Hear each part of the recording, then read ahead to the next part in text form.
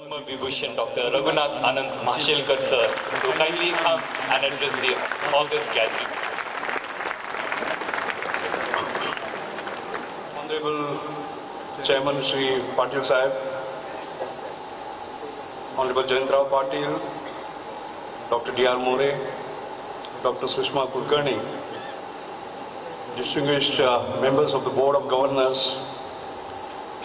distinguished members of the Academic Council, distinguished faculty, deans, the proud uh, graduates of the day, the equally proud uh, parents, ladies and gentlemen.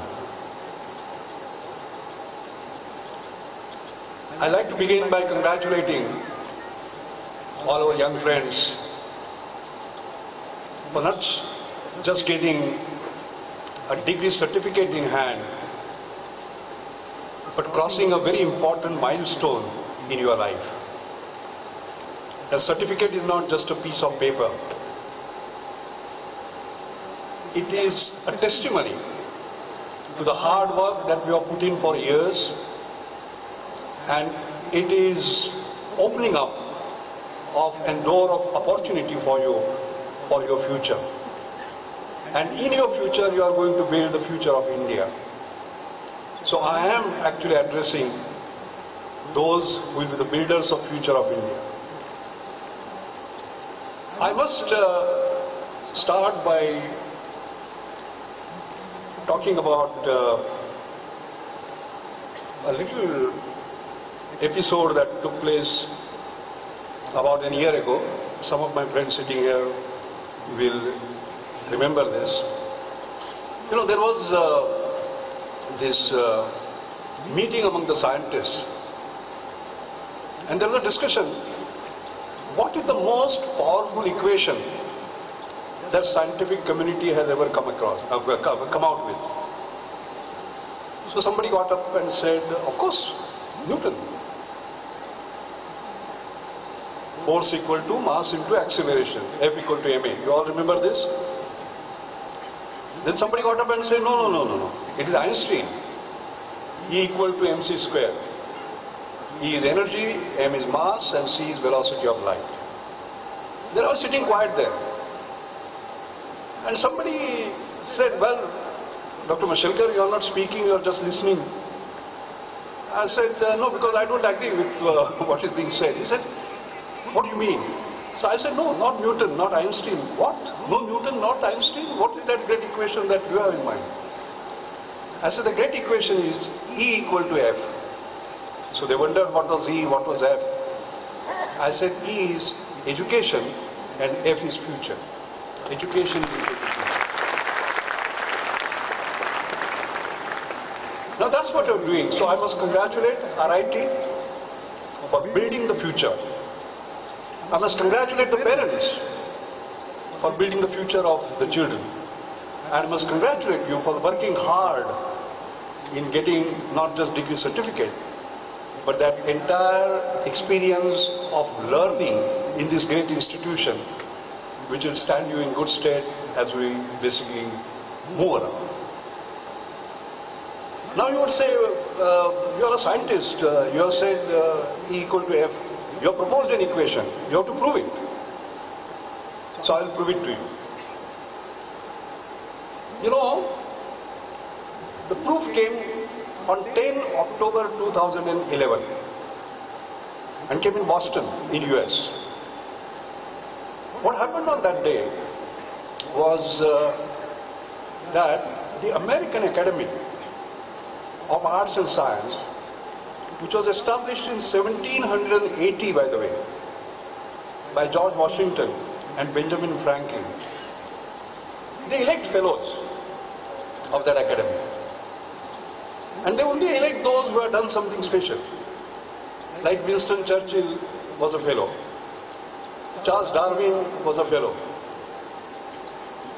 Einstein was a fellow. Nelson Mandela was a fellow. 200 Nobel laureates were fellows. So you might ask, how many fellows from India from 1780? Only seven so far from 1780. And what happened on that day was that the sixth and the seventh fellow signed in the register where other fellows have signed. It's a special moment. You know who was the sixth fellow? Who gave the first convocation address? Ratan. And you know who was uh, the seventh fellow who signed? The fellow who is giving the third convocation address, Raghunath Mashelkar. So, Chandra, here is a challenge. Out of these seven, two you already got here. The remaining five you have to get down for the convocation addresses. But how, you will say, uh, you are sidestepping uh, the point. How do you prove equal to everything? And that proof comes because of the following. That it is interesting that uh, it was Sir Dorab Tata Trust Scholarship of just 60 rupees per month, which I got in 1960 for six years. But for that scholarship, I was going to leave education because my mother, poor mother, could not afford my education. And that 60 rupees they gave for six years, by the way. That is how I could study. That is how I am here. Now, interestingly, in 1960, somebody would have said that 50 years later, huh, 50 years later, the head of the house of Tatas who are giving you that 60 rupees, and you, who is receiving that scholarship, will sign in the same book on the same page, one after the other. I would not have believed it. Now, how did this miracle happen? Because of the equation E equal to F. Because I was educated, I built my future. Of course, like we were saying in the, in the car, it's not just the education, it's the opportunity. So my young students, I want to tell you that it is not the degree certificate that is going to win you your future. You must seize opportunities. You must not only knock on doors, but if there are no doors, you will create your own doors, so as to say. Alright? You have to create your own opportunities. So it is education plus opportunity that will give you basically the future. So that's why this is a very, very important day in the lives of the children, in the lives of these parents, and in the life of this great institution. So shall we collectively give a round of applause, a big round of applause to the future of this young generation.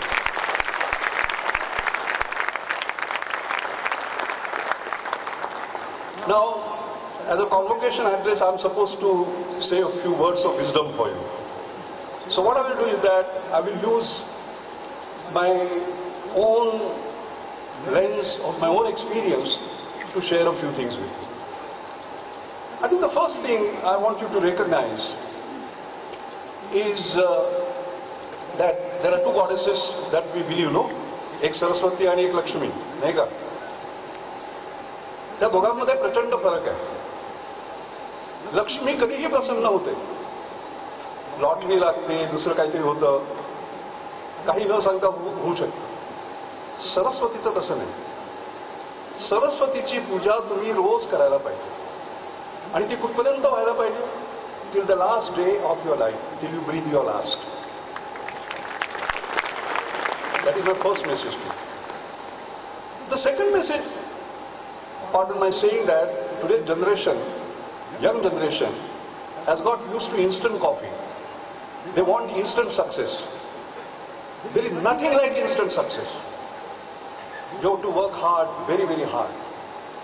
Many people ask me, you know, what is the root cause of your success? I say I've worked hard, 24 into 7, day after day, week after week, month after month, year after year. I'm 72 now and I will continue to do that till I breathe my last.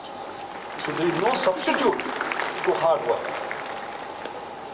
The third is uh, your ambition. For example, I want to congratulate the gold medalist today. All right. Now, climbing Everest once is not good enough. You have to climb Everest practically every day. You have to work that hard. And your aspirations must be kept very high. My friend C.K. Prahalad used to say, is no more, that there is what is called as a resource and there is what is called as an aspiration. And the aspiration has to be always above the resource. And as our resource goes up, our aspiration comes down. And that is the failure of individuals, of institutions, of industrial enterprises. So keep your aspirations high.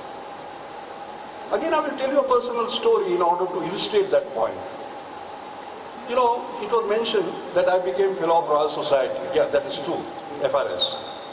It's a very great honor. In fact, uh, when I became FRS, by the way, uh, I remember uh, uh, somebody saying, I mean, Sir Eric Ash wrote to me, said that now there are only two great things that can happen to you in your life. One is Nobel Prize, and second is death. One is certain, another is uncertain. That is how great that honor is. And you actually sign in the book where Newton has signed, by the way. Alright? Now, when in 1998 that uh, Jendrao said I got it, I was very happy. And one of my mentors, my guru, is Professor C.N.R. Rao, Bharat Ratna Professor C.N.R. Rao, by the way. So I went to him and said, Sir, I have become FRS. So I thought he will congratulate me, he will hug me, he will say, great. He didn't do anything. You know what he did? He said, not bad. So I was very disappointed. I said, what is this? You know, such a great honor. And so anyway, I was disappointed. I came back. After that, I became fellow, I mean, fellow of American Academy of Arts and Science. You know, just now what I told you. So I thought you will be sort of uh, very happy. No, sorry. Before that, I became fellow U.S. National Academy of Science.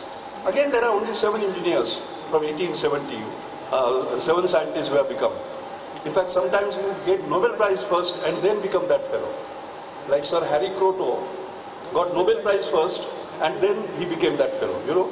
So I thought now he'll be very happy. So I went to him. He looked at me and said, not bad. I was really disappointed. And then I got this American Academy of Arts and Science. And then again he said not bad. Then I lost my temper. I said, sir, what do I have to do? Do I have to stand on my head to impress you? And at that time he gave me a lesson which I want to pass on to you. You know what was the lesson? He said, Mashelkar, you are climbing on a ladder of excellence. But mind you, it is an unlimited ladder of excellence. Alright? And the limits can come. Limits can come only based on the limits that you put on. So it is a limitless ladder of excellence. So my message to you is very simple. When you get success in your life, you know, आपण अल्पसंतुष्ट असतो पहिली century झाली की झालं म्हणूनच एखादाच सचिन तेंडुलकर निघतो who makes 100 centuries, all right? But behind that, there is a lot of hard work. Behind that, there is an aspiration that I must do better and better and better and better and better and better, all right? So my third lesson to you would be doing that. The fourth uh, point would be that education is about learning, doing, and being. There are three things. Learning part of it, fine, RIT has taught you. But it is not just the ability, it is the attitude that matters. It is not just the mind, it is the mindset that matters. And being part means being a fine human being, being a part of a society, and that's very important. And that is why my fifth advice to you will be try to build three abilities as far as you are concerned. What are those? The first is innovation. And Jayantrao, you rightly pointed out innovation because innovation is the key to the future. That's why I say always, I in India must stand for innovation. I in every individual Indian must stand for innovation. I in industry must stand for innovation. Alright? That's the only way we can sort of move forward. So be innovative. Innovation means doing things differently, making a difference, taking risks, creating like what you said, doing things which are disruptive innovation, game-changing innovations, which change the world. Not be happy by doing something which is, uh, you know, we say, uh, first to Shukrawar Peth, sorry, first to Pune, no, first to Maharashtra, no, First in India, no, first to the world. All right, that is the innovation one. The second, passion. Passion in the belly. Without passion, you can't do anything. And third one is compassion. Compassion in the heart. Compassion for the downtrodden, compassion for the society, and so on. And that is why, Chandra, I must say, today I was very, very happy to go around the exhibition when I saw your innovations that you have done. I would say inventions, not innovations. And you know what I was touched by?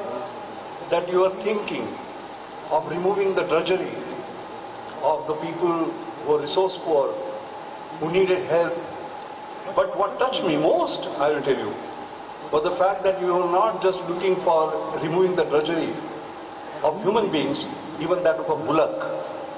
There was a design that was developed for removing the stress on the bullock when suddenly the bullock cart, you know, they break by uh, sort of uh, uh, a means which is not actually fair to the bullock and puts a stress. What it shows you is that it, it, it, it, it is uh, something which is an inherent quality, particularly of an Indian mind, I must say that, where we are very sort of compassionate about what we see. You know, everybody talks about this uh, uh, b- b- b- b- turmeric victory. हळदी गाठीची दुसरी लढाई असं म्हणतात नाही का There is a bit of a story on that, by the way. What was the story? See, I remember I was uh, reading a paper, newspaper, and suddenly I saw that wound healing properties of turmeric were patented by America. I said, how can they do that? My mother knew about it, my mothers knew about it. An incident passed my mind when we were sitting in our NCL director's bungalow and suddenly a bird came and fell with a broken wing. And I still remember my mother running down and bringing haldi. You know, she made it into a paste and applied to that bird and that bird died after two hours and we were all crying actually when the bird died. You know? For one moment she did not think that haldi works on a human being like you, but does it work on a bird? No. To her, a bird was the same, so she had the same compassion for the bird as I saw today for the bullock, as we see for the humanity. And I think that is a very important quality. So innovation, compassion and passion would be my fifth uh, uh, message to you. I'm very happy to see what I have seen in the institute today. I came three years ago, I came today. I came in uh, June 2013, am I right? Yeah. June 2013. And I have seen a remarkable difference. You know, somebody told me we only had three patents then, now we have 26 patents. Now, as usual, I will raise the ambition. No, 26 is not good enough, 260. And when you get 260, I will say no, 2600. That is the way we should raise our ambition, so as to say. That is what I mean by keeping the aspiration high. And I'm very delighted to see that we are making sort of a great progress. Finally, what is going to matter for India, I'll be very honest with you. Simple things. Talent, technology, and trust. Take my word for it. Talent, technology, and trust. Let me explain each one of them. Indian talent. You know, I'll tell you, uh, United States of America had the economic growth. You know why? Roads and railways. That triggered the growth. Britain, textiles. Denmark, milk and milk products. Sweden, timber and timber products. Middle East, oil. Now, if you ask me what is the oil for India, it is Indian talent. This talent. In fact, I remember when Atal Bihari Vajpayee used to say, India's future is in IT, IT as in information technology. I also used to say, yes, India's future is in IT, but not in information technology, but as in talent, Indian talent. That's the one that we see here. And it is supreme, we don't require a proof. Satyam Shivam Sundaram is happening. Who is the CEO of Microsoft? Satya Nadella. Indian, studied in India, right here. Google. Who is the CEO? Sundar Pichai, studied like this. Product. Okay? So, maybe we have had uh, Satyam, Sundaram, we'll have Shiva. I'm not talking about Shiva Shivanatha, I'm talking about somebody who will make a big difference. And maybe he will uh, be the chief uh, for Apple, for all we know. But once again, then, uh, what we have to do is to raise our ambitions. What was our ambition? Somehow or the other to go to United States, get a visa and go there. What was our second ambition? To get a job with Microsoft or Google. What is our third ambition now? To become the CEO of Microsoft and Google. What should be our fourth ambition? Forget about that. Create our own Microsofts and Google in this country. So, my young fellows, my young friends, I charge you with creating Microsofts and Googles. As you were reading out, we got jobs in TCS, we got jobs in Infosys, we got jobs in this, etc. That's fine. I would like to raise the bar. Again, you should not be seeking jobs, you should be creating jobs. And how do you create jobs? And I saw that in evidence today. Like, I was very happy to see. And Ravindra and I had a good time while uh, talking to one of the entrepreneurs who has created a good product as to how to take it to the market because mind to marketplace journey is a very, very tough one, by the way. You can demonstrate a product in RIT, but to make it happen in the marketplace is a tough journey. And for that, we have to create an environment. How do we create the future Bill Gateses here in our country? The future Microsofts here in our country. And that is where the talent, technology and trust part, the trust part comes. Again, my personal experience, anecdotal I will tell you. About four years ago, I still remember the date, 12 November, Bill Gates had come to India. And four of us were invited to have a dinner with him. And it was a dinner come discussion, by the way. Who were they? Nandan Nilekani was one of them. Arun Maira was one of them. Anand Mahindra was one of them. And I was one of them. And the discussion went on and Bill Gates said something very interesting. He said in Harvard University, he gave the commencement address. And in that, he declared that he was the most successful dropout from Harvard. Of course, he was the most successful dropout from Harvard, right? And then he recalled while he was young, he said there was a company in Albuquerque. Those were early days of computer. Computer hardware was being manufactured, you know. They were going to manufacture computer hardware. So he said if they're manufacturing computer hardware, they will require software. So he phoned them up and said, I will give you the software. He half expected that they will keep the phone down. You know why? A young fellow of 20 and those early days of computer and he's offering software? Come on, a joke? They did not keep the phone down. You know what they said? We are not ready. Come after a month. And you know what Bill Gates said? Thank God they said come after a month. I did not have the software that I offered. त्या कंपनीला या तरुण मुलामध्ये विश्वास होता आणि ह्या तरुण मुलाला आत्मविश्वास होता विश्वास आत्मविश्वास trust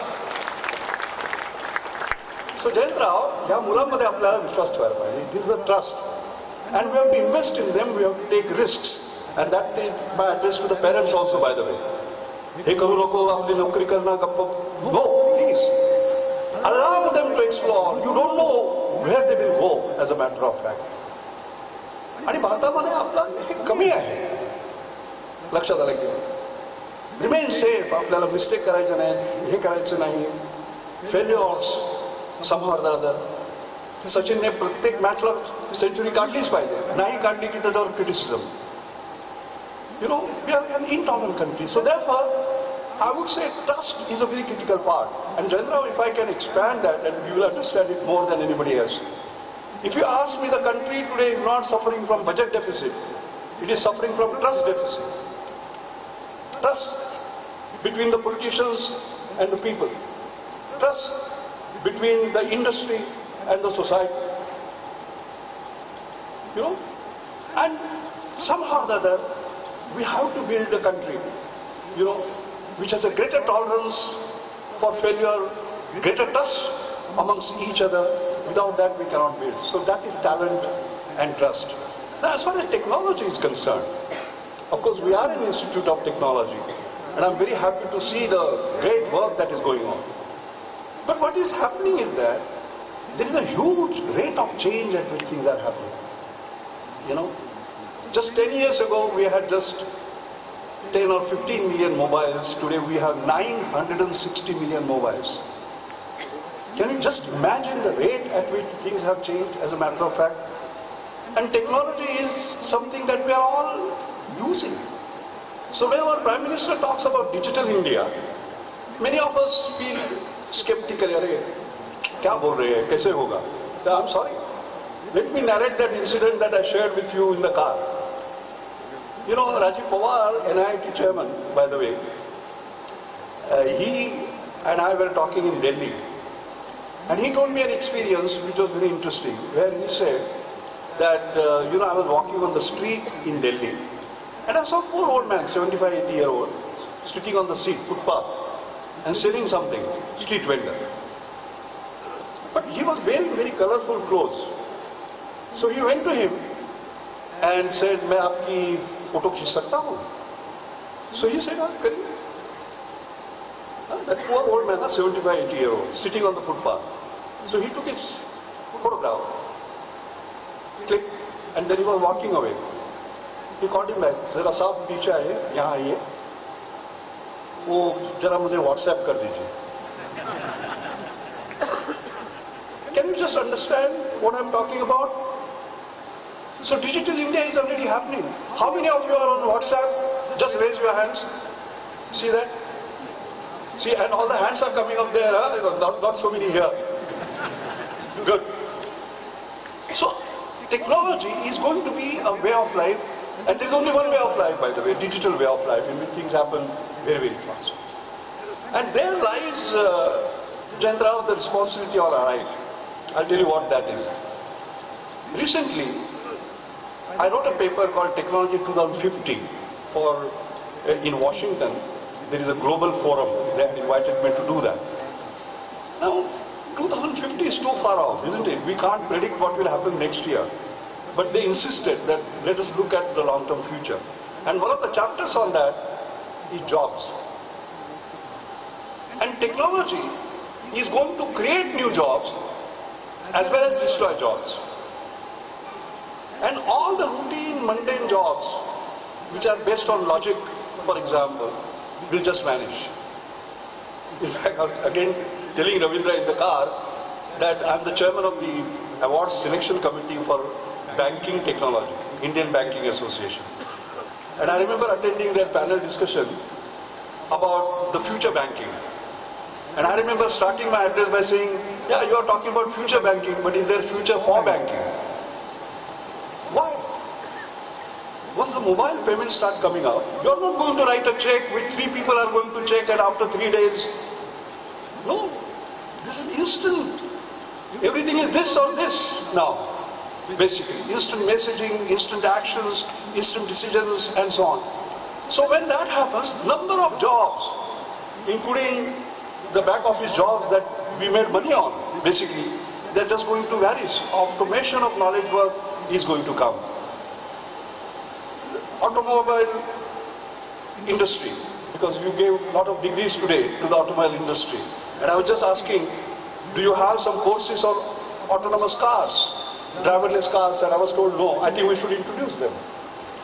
Driverless cars, by the way, they look unreal, but they are happening. Next year they will be introduced as taxis in, uh, in uh, the city. And the business models are changing. What people are saying now, I don't want a car. I want access to the car. And that is where Uber comes. All right? So people say that when I want the car that I need at a point in time in, within two minutes, why the hell should I buy a car? So what is going to happen to automobile manufacturing then? I'm a member of the board of Tata Motors and I'm worried. Whom will I sell the cars if all of you will say that I will only have access, I will not have ownership? So that is going to change. The ownership is going to change. Because driverless cars are nothing but sophisticated computers on four wheels. Who is going to manufacture them? BMWs and Tata Motors and GM? No, they will be manufactured by Google, they will be manufactured uh, uh, by Tesla, they will be manufactured by Apple. You know, the entire insurance industry will change. The whole thing is going to change. So, Google, uh, Uber will create uh, jobs for drivers, and driverless cars, autonomous cars will destroy jobs. Some creating jobs, some destroying jobs. So, one of the things we need to do in the college is that since we are talking about jobs, jobs all, all the time, and we kept on saying they have got employment here, that, that's wonderful. I think that, that is how it should be. But we should start looking for the future and start training our students about the future. I said education is equal to future, but what is the future? You know? And therefore, I think we need to do some absolute radical thinking in terms of the way we move, digital way is the way. And I'm very happy that you have taken progressive steps to blend digital learning with physical learning. That's wonderful because uh, there's no substitute uh, to that. But we have to be ahead of the curve uh, in, in, in this and start anticipating uh, the changes uh, uh, very quickly. I would like to end, because I've been given 20 minutes, I don't want to exceed that. I'd like to end by just talking about India and finally, to me, it's one India, it's my India, it's India first. Okay, at the end of it, what is the purpose of our life? It's India. Right? And what is the kind of India we would like to see and the future that we are going to actually build? I'd like to see an India which has 10 characteristics. One is Suvidya Bharat. Education is future, I said already, so it has to be Suvidya. Second, Susanskrit Bharat. Culture, our preservation of what we have, we have to sort of maintain it, no question. The third, Sushasit Bharat, governance is the key, as a matter of fact. And we all have to contribute. I don't mind one of you, say, uh, when we asked you where are you going to go, he said IAS. We discussed that. I don't mind. Become an IAS, but create a Susha- Sushasit Bharat, governance. The fourth is Santulit Bharat. Santulit. Santulan. Development without destruction. Alright? Because growth, while it is taking place, we cannot destroy environment, we cannot destroy ecology. Climate change is here, and how do you balance these two? Very important. Next is Samruddha Bharat. We have so many people below the poverty line and so on and so forth. We must sort of lift them up. Sixth is संयमशील Bharat आपला कुठेतरी संयम जातोय असं मला वाटतं कारण सहिष्णू भारत याविषयी आपण हल्ली जास्त बोलायला लागलेलो आहोत कारण ती सहिष्णुता दिसत नाही कुठेतरी ते मिस होते भारत टिकणार नाही तसं झालं. नाही का सो संयमशील सहिष्णू भारत हे महत्वाचं स्वच्छ भारत स्वच्छ भारत योजना आहे आपल्याला कल्पना आहे fact, there is a committee that has been created by the government of India, 19 members. I happen to be the chairman of that committee, which is looking at drinking water and sanitation, technology that will be scalable, sustainable, affordable, rapidly deployable, and socially acceptable, basically. You know, but as we all know, it is not about building toilets, it's about using toilets. So that requires a mindset change. So it is social engineering, not just, uh, you know, technology-based. So it is social engineering, system engineering that is important. But you cannot become a developed country unless you are there. Then, Sarva Samaveshak inclusion. Inclusive upon मगाशी आपण बोलतो. We talk about growth, but that has to be inclusive growth, and we have to have accelerated inclusive growth. आणि सर्वसमावेशक हे महत्वाचं आहे.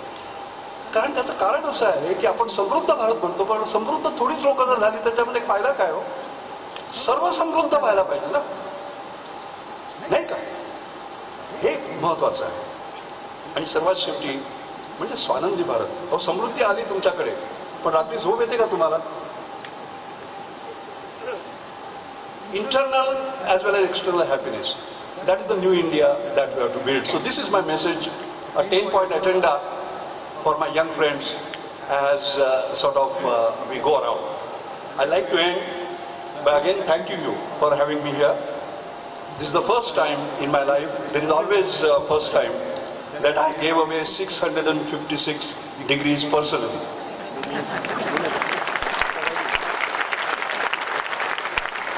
And I must say, there was a great joy in that. There was a great joy in that. Because I know, uh, Sushma, you were worried, you were trying to give me a glass of water, you were worried about whether I'll be able to stand, doesn't matter. I think it was a personal joy, because this is a very special moment in your life. You get my point? Event like this will never happen. It is like your first child. It is like your first rain when you get a special smell. Alright? So this is your first degree, so as to say. You'll never get another first degree. This is very special and you made me a part of it by making, you making me shake hands with these 656 uh, uh, young people who are going to be the builders of our future. So I want to really thank you. And the final point is, like I always do, people call me dangerous optimist, durdamya ashawadi.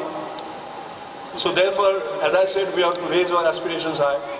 Because if you think of the Everest, at least you will re- uh, reach Kanchenjunga. But if you think of Kanchenjunga, you will reach Hanuman Tekdi, right? So let us aim at Everest as an ambition. And what should that be? And that ambition would be, I will not be there to see that by 2050, but 2050, our RIT should be ranked higher than the MIT of Boston. Thank you.